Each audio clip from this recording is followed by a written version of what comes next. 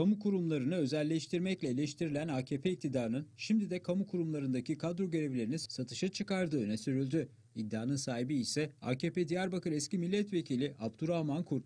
Kurt, kamu kurumlarına para karşılığında kadro alındığını söyledi. Sosyal medya hesabından artık birileri buna da edibese demeyecek mi sorusunu kamuoyuna yöneltti.